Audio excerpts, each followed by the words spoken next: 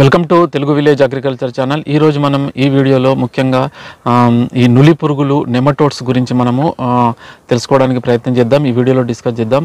ఈ నెమటోడ్స్ వల్ల రైతులు వివిధ రకాల పంటలలో చాలా రకాల సమస్యలు ఎదుర్కొంటున్నారు. అనేక రకాల రసాయనాలు వాడుతున్నారు. కానీ సమర్థవంతంగా వాటిని నిర్మూలించలేకపోతున్నారు. సో రైతు సోదరులు. కాబట్టి ఈ మనకు ముఖ్యంగా ఇది ఈ మహతి ఈకోటెక్ ఈ సంస్థ వారు మనకి ఈ బాటనీ అనే పేరుతోని ఈ నెమటోడ్స్ నిర్మూలనకు నెమటోడ్స్ నివారణకు ఒక కొత్తగా ఆ ప్రొడక్ట్ వారు లాంచ్ చేయడం జరిగింది. సో ముఖ్యంగా ఆల్రెడీ చాలామంది రైతులకు రెండు తెలుగు రాష్ట్రాల్లో తెలుసు. ఈ మహతి ఈకోటెక్ వారు నానో గోల్డ్ అనే ప్రొడక్ట్ను వారు లాంచ్ చేయడం జరిగింది. చాలా వరకు రైతులు వాడుతూ మంచి సక్సెస్ అంటే దాని యొక్క మంచి ఫలితాలు పొందడం జరిగింది. నానో గోల్డ్ వివిధ రకాల పంటలపై సమర్థవంతంగా పనిచేయడం జరిగింది. చాలామంది రైతు సోదరులు వారు ఫీడ్బ్యాక్ కూడా వివిధ రకాల మనకు ఛానళ్ళ ద్వారా వివిధ రకాల వీడియోల ద్వారా తెలపడం జరిగింది.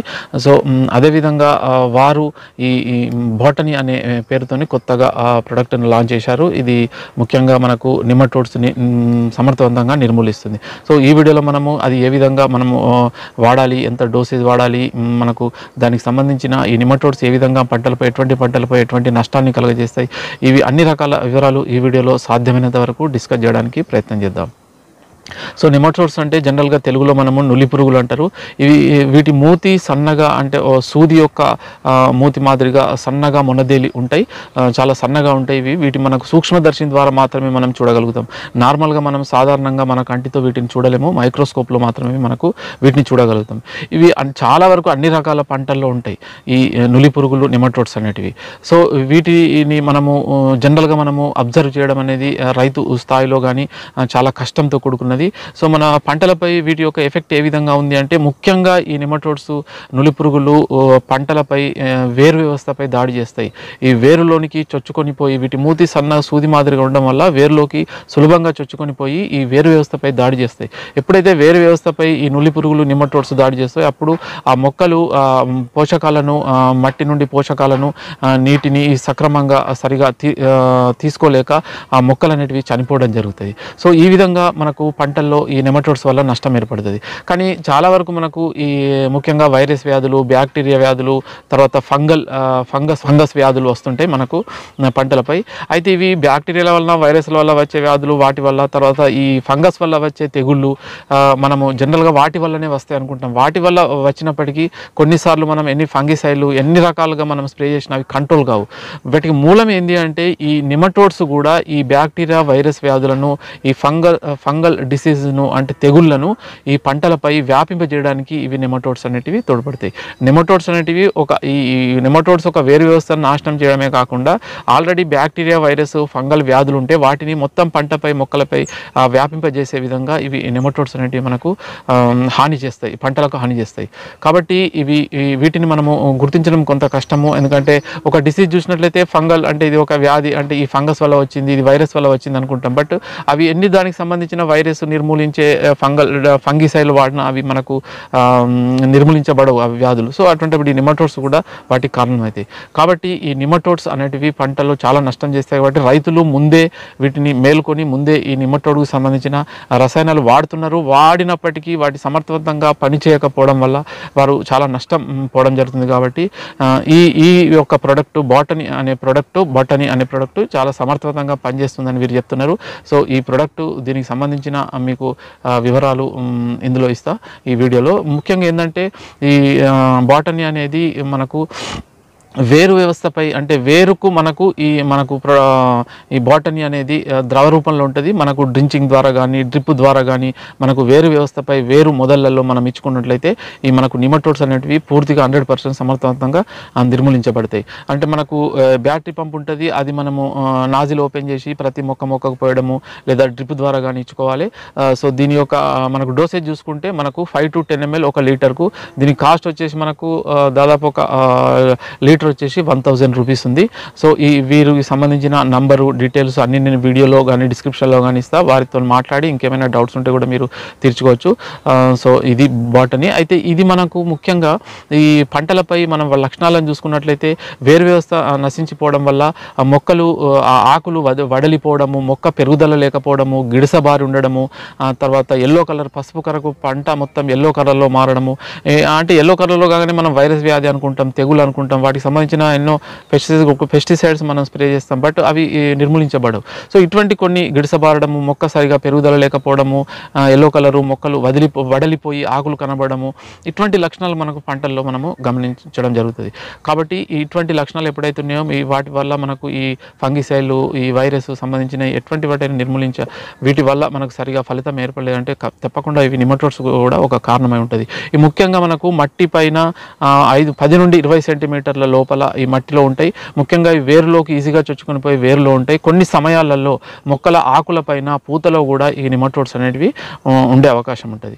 కాబట్టి ఈ ఇది ఈ నిమటోడులు రాకముందు ఎందుకంటే ఎన్నో డబ్బులు ఎంతో పెద్ద మొత్తంలో పెట్టుబడులు పెట్టి మీరు పంటలు వేస్తారు కాబట్టి సడన్గా మనకు ఏ వ్యాధి వచ్చింది అసలు ఏమవుతుంది పంటలో అనేది మనం గ్రహించలేము. అంతలోనే చాలా నష్టం జరిగిపోతుంది కాబట్టి అది జరగక ముందే ఇటువంటి మనము మందులను కనుక వాడుకున్నట్లయితే ఈ నిమటోడ్కి సంబంధించిన బాటనీ అనేది వాడుకున్నట్లయితే ఒకవేళ నిమటోడ్ల వల్ల మన పంటకు నష్టం కలిగే అవకాశం ఉంటే ఆ నష్టం అనేది కలగకుండా ఉంటుంది. కాబట్టి ఇది మనకు నిమటోడ్స్కు ఈ నిమటోడ్స్కి సంబంధించినది. సో దీనికి సంబంధించిన ఏవైనా మీకు డౌట్స్ ఉన్నా ఏమైనా మీకు ఇది ఉన్నా అంటే దీనికి సంబంధించిన కొన్ని ఏమైనా వివరాలుగా ఉంటే వారి నంబర్ను కాల్ చేసి అడగవచ్చు. దాని కింద కామెంట్లో కూడా మీరు అడిగితే నేను సాధ్యమైనంత వరకు నేను తెలిసిన సమాచారము మీకు ఇవ్వడానికి ప్రయత్నం చేస్తా. సో ఇది మనకు కంప్లీట్ ఆర్గానిక్ ఇది బాటనీ అనేది ఎటువంటి కెమికల్ కూడా కాదు. సో ఇది కొంతమంది రైతులు కూడా వాడి మంచి ఫలితాలు కూడా పొందడం జరిగిందని చెప్తున్నారు. సో మీరు కూడా వాడి మీరు కూడా దీన్ని ఏ విధంగా మీ పంటలపై నిమోట్రోషన్ నిర్మూలిస్తుందని మీరు తెలుసుకోవచ్చు. అయితే వీటిని మనము ఏ ఏ పంటలపై ఈ నెమటోడ్స్ ప్రభావం ఎక్కువగా ఉంటుందంటే అన్ని రకాల పంటలపై ఉంటుంది. ముఖ్యంగా ఇది బొప్పాయి కానీ అరటి కానీ తర్వాత జామ తర్వాత పూల తోటలు కూరగాయల తోటలు వివిధ రకాల ముఖ్యంగా హార్టికల్చర్ పంటలపై ఎందుకంటే దీర్ఘకాలిక పంటలు వాటిపై ఎక్కువ ప్రభావాన్ని చూపెడుతుంది. జామ బొప్పాయి తర్వాత అరటి చూసుకున్నట్లయితే వాటి వేరు వ్యవస్థలో ఈ నెమటోళ్ళు లాంటివి ఆ వేరు లోపలికి సులభంగా చొచ్చుకొని వెళ్ళి ఆ వేరుని చాలా వరకు డ్యామేజ్ చేస్తుంది. ఆ విధంగా మనకు ఆ పంటలపై వివిధ రకాల ఈ నెమటోడ్ సంబంధించిన లక్షణాలు అనేటివి కనబడుతుంటాయి. అవి వైరస్ ఫంగల్ అనుకొని మనము కొంత కన్ఫ్యూజ్ అయ్యే అవకాశం ఉంటుంది కాబట్టి మీరు కంపల్సరీగా వీటిని మొదలుగానే మీరు వాటి ఎఫెక్ట్ కాకముందే పంట పంటలకు ప్రభావం కాకముందే పంటలు ఈ ఇటువంటి ఈ ప్రొడక్ట్ను బాటనీ అనే ప్రొడక్ట్ను తెప్పించుకొని మీరు మొక్క మొదళ్ళలో డ్రిప్ ద్వారా కానీ డ్రించింగ్ ద్వారా కానీ ఏదో విధంగా మొత్తానికి మొక్కల పంటల వేరు వ్యవస్థలో వేరుకు చేరే విధంగా దీన్ని మనము ఇచ్చుకోవాలి. సో ఇది ఈ పంటలపై దీని యొక్క ప్రభావం అనేది చాలా ఎక్కువగా ఉంటుంది. కొన్ని సమయాలలో పూల తోటలు వెజిటేబుల్ కూరగాయల పంటలపై కూడా దీని యొక్క మనకు ఎఫెక్ట్ అనేది ఉంటుంది. మన పంటలు పంటలో లేకపోయినా పక్క పంటల ద్వారా కానీ లేకుంటే మన నర్సరీ నుండి మనము కొన్ని మొక్కలు తెచ్చినప్పుడు కానీ లేదా ఒక పంట నుండి ఇంకో పంటకు నీటి పారుదల కానీ ఈ విధంగా నర్సరీల ద్వారా నీటి పారుదల ద్వారా ఈ వీటి వల్ల ఒక పంట నుండి ఇంకో పంటకు ఇవి ఈ నిమటోడ్స్ అనేటివి వ్యాప్తి చెందడానికి అవకాశం ఉంటుంది. కానీ ఒకసారి నిమటోడ్ ఎఫెక్ట్ అయిందంటే పంట కంప్లీట్ దాదాపు డ్యామేజ్ అయింది థర్టీ ఫార్టీ పర్సెంట్ అంటే వాటిని నిర్మూలించడం చాలా కష్టం అవుతుంది కాబట్టి ఇది రాకముందే మీరు ఈ మొక్క యొక్క వేర్లలో మొదళ్ళలో ఈ దీన్ని మీరు ఈ బాటని దాన్ని మీరు వాడినట్లయితే మీకు ఈ నిమటోళ్ళ ప్రభావం అనేది నిమటోళ్ళ ఎఫెక్ట్ అనేది ముందు ముందు మీ పంటలపై ఉండకుండా మీరు మొదలే జాగ్రత్తగా చూసుకోవచ్చు. సో ఈ విధంగా మీరు దీన్ని వాడినట్లయితే మీరు మీ పంటలను చాలా బాగా అంటే నిమటోళ్ళ ప్రభావం నుండి కాపాడుకొని మంచి దిగుబడి మంచి ఫలితాలు పొందే అవకాశం ఉంటుంది. నెక్స్ట్ వచ్చేసి సీతాఫల గింజల నూనె అంటే సీతాఫల నూనె. ఈ సీతాఫల నూనెను కూడా వీరు మనకు అందించడం జరుగుతుంది. సో ఇది ముఖ్యంగా మనకు సీతాఫల గింజల నుండి తీసిన నూనె ఇది అన్ని రకాల పురుగులు తెగుళ్ళను నిర్మూలించడానికి ఈ నూనె సహాయపడుతుంది. సో ముఖ్యంగా ఇది తెగుళ్ళు మనకు పంటలపై జనరల్గా కూరగాయల పంటలపై ఉదాహరణకు ఎగ్జాంపుల్ బీర కాకెర ఇటువంటివి చూసుకున్నట్లయితే మనకు ఫంగల్ ఎఫెక్ట్ అంటే మనకు డౌన్ మిల్లు ఫోడర్ మిల్లు ఇటువంటి ఫంగి ఫంగల్ సంబంధ ఫంగస్కి సంబంధించిన వ్యాధులు వస్తాయి తెగుళ్ళు వస్తాయి. సో ఇటువంటి తెగుళ్ళను నిర్మూలించడంలో ముఖ్యంగా ఇవి కొన్ని రకాల పురుగులను కూడా అంటే మనకు ఈ కాండం తొలిచి పురుగులు అటువంటివి ఉంటాయి. పురుగులను తెగుళ్ళను నిర్మించడంలో ఇది సమర్థవంతంగా మనకు పనిచేస్తుంది. సో ఈ సీతాఫల ఆయిల్లో మనకు అసిటోజెనిన్ అనే విష పదార్థం ఉంటుంది. అంటే సీతాఫల గింజల నుండి తీసిన నూనెలో అసిటోజెనిన్ అనే మనకు విష పదార్థం ఉంటుంది. ఇది ఏం చేస్తుందంటే పురుగులను కానీ తెగులకు సంబంధించిన వాటిలో శ్వాసకోశ సంబంధించిన వ్యవస్థను ఇది నిర్మూలిస్తుంది. అంటే ఇది ఒక అసిటోజెనిన్ అనేది ఆర్గానిక్గా అది మనకు విష పదార్థము. సో ఇది కంప్లీట్గా మనకు ప్రకృతి వ్యవసాయం చేసే రైతులు ఆర్గానిక్ ఫార్మింగ్ చేసే రైతులు వీటిని పురుగులను నిర్మూలించడానికి వాడవచ్చు అంటే మనకు శత్రు పురుగులను మాత్రమే ఇది నిర్మూలిస్తుంది మిత్ర పురుగులను నిర్మించకుండా ఈ సీతాఫల్ గింజల ఆయిల్ నూనెలో ఎస్ట్రోజెనిన్ అనే కెమికల్ అంటే మనకు విషపూరిత పదార్థం ఉండడం వల్ల మనకు ఇది కంప్లీట్గా మనకు సమర్థవంతంగా పనిచేయడం జరుగుతుంది. ఇది మనకు డోసేజ్ వచ్చేసి మనకు టూ ఎంఎల్ పర్ లీటర్ అంటే ఒక లీటర్ నీటిలో రెండు ఎంఎల్ వేసుకోవాలి. ఒక హాఫ్ లీటర్ బాటిల్ వచ్చేసి మనకు వన్ థౌజండ్ రూపీస్ ఒక వెయ్యి రూపాయల ధర ఉంది.